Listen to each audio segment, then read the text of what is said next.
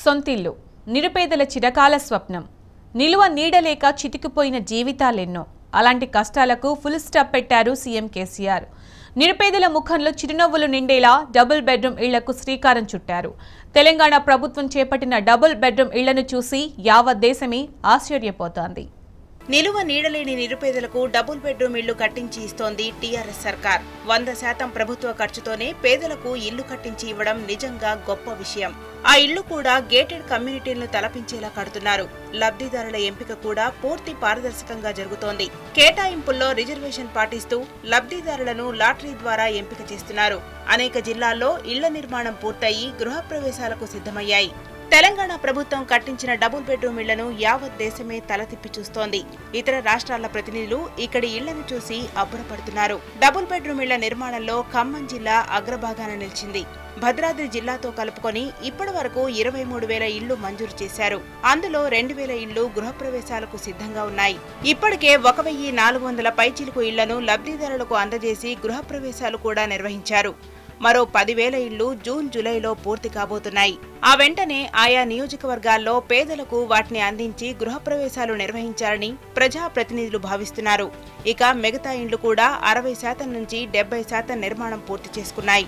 డెడ్లైన్లోగానే ఇరవై మూడు వేల ఇండ్ల నిర్మాణం పూర్తి చేయాలని అధికారులు లక్ష్యంగా పెట్టుకున్నారు. గతేడాది ఉగాది రోజు ఖమ్మం జిల్లా మద్దులపల్లిలో డబుల్ బెడ్రూమ్ ఇళ్ళ గృహప్రవేశాలు జరిగాయి. ఇప్పుడు ఆ కాలనీ పచ్చని చెట్లతో ఆహ్లాదంగా మారింది. ఒకప్పుడు గూడు లేక ఇబ్బంది పడ్డ పేద ప్రజలు ఇప్పుడు సొంతింట్లో సగౌరవంగా జీవిస్తున్నారు. డబుల్ బెడ్రూమ్ ఇళ్ళు అందించిన టీఆర్ఎస్ సర్కార్కు రుణపడి ఉంటామని లబ్ధిదారులు అంటున్నారు. మాది మద్దులపల్లి గ్రామం. మాకు కేసీఆర్ సార్ ప్రవేశపెట్టిన దాంట్లో డబుల్ బెడ్రూమ్ ఫ్లాట్ వచ్చింది. వన్ ఇయర్ అవుతుంది నాకు ఇల్లు వచ్చి అలాంటి మాకు ఇంతకుముందు కిరాయిలకు ఉండేదాన్ని మేము సాకులు వెళ్ళాం బట్టలు ఎత్తుకుంటూ ఉండేదాన్ని. అట్లాంటిది ఒక రోజు పోతే ఒక రోజు పోకుండా అసలు పిల్లల్ని చదివించుకోవడానికి కూడా స్తోమత లేకుండా ఇల్లు కిరాయి కట్టడానికి కూడా డబ్బులు లేకుండా ఉండేది.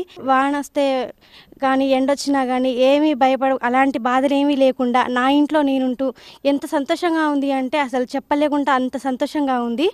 దేవుడు సీఎం కేసీఆర్ గారు ప్రవేశపెట్టిన డబుల్ బెడ్రూమ్లో ఇల్లు రావడం నాలాంటి పేదవాళ్ళకి ఇల్లు ఇవ్వడం అసలు నాలాంటి చాలామంది నిరుపేదలు ఇంకా ఉన్నారు. చాలా అలాంటి వాళ్ళందరికీ కూడా ఇల్లు ఇవ్వాలి. మాలాంటి పేదవాళ్ళకి గుర్తించి ఇల్లు ఇచ్చినందుకు అసలు నాకు సీఎం సార్ గారికి అసలు నా జన్మ జన్మల సార్కి రుణపడి ఉంటాను. ఖమ్మం భద్రాద్రి కొత్తగూడెం జిల్లాలో మొత్తం పది అసెంబ్లీ సెగ్మెంట్లున్నాయి. ఒక కొత్తగూడెం నియోజకవర్గంలో మినహాయిస్తే మిగతా అన్ని నియోజకవర్గాల్లో ఇప్పటికే డబుల్ బెడ్రూమ్ ఇళ్ళలో గృహప్రవేశాలు జరిగాయి. కొన్ని సెగ్మెంట్లలో అయితే ప్రతి మండలంలోనూ గృహప్రవేశాలు చేశారు. మంత్రి తుమ్మల ప్రాతినిధ్యం వహిస్తున్న పాలేరు నియోజకవర్గంలో ఒక్కో మండలంలో నాలుగైదు గ్రామాల్లో గృహప్రవేశాలు జరిగిపోయాయి. ఇంకా అనేక కాలనీలు ప్రారంభానికి సిద్ధంగా ఉన్నాయి. కొన్ని చోట్ల స్థలాల సమస్యలు తలెత్తితే టీఆర్ఎస్ పార్టీ నాయకులే స్వచ్ఛందంగా స్థలాలు దానం చేశారు. వంద శాతం అర్హులకే ఇల్లు ఇవ్వడంతో ప్రభుత్వంపై ప్రశంసలు కురుస్తున్నాయి.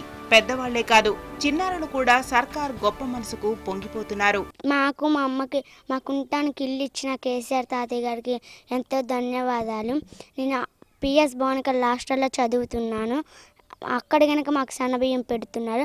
మేము ఇంతకుముందు కిరాయికి ఉండేవాళ్ళం. మా మా మధ్యలో పెళ్ళి అక్కడ ఉండేవాళ్ళం. ఇప్పుడు సంవత్సరం నుంచి ఈ ఇల్లు ఇచ్చిన తాతయ్య ఇల్లు ఇచ్చారు తాతయ్య గారు దాంట్లో ఉంటున్నాం. మాకు ఎంతో సంతోషంగా ఉంది మొత్తం మీద పేదోడి సొంతింటి కలను నిజం చేసింది టీఆర్ఎస్ సర్కార్. డబుల్ బెడ్రూమ్ ఇళ్ళు అందుకున్న పేద కుటుంబాల ఆనందానికి అవధుల్లేవు పేదల ఆత్మగౌరవం ప్రధాన అజెండాగా ముఖ్యమంత్రి కేసీఆర్ చేపట్టిన డబుల్ బెడ్రూమ్ ఇళ్ళ నిర్మాణ పథకం విప్లవాత్మకమైన మార్పులకు నాంది పలుకుతోంది నిలువ నీడలేక ఎండకు ఎండి వానకు తడిచిన బడుగుల బతుకులకు భరోసా నింపుతుంది. దేశ విదేశాల గృహ నిర్మాణాల పథకాలకు ఆదర్శంగా నిలుస్తూ తెలంగాణ ఖ్యాతిని విశ్వవ్యాప్తం చేస్తుంది. విడుదల నాగరాజుతో కలిసి సాంబశివరావు టీ న్యూస్ ఖమ్మం భద్రాద్రి కొత్తగూడెం జిల్లాల నుంచి.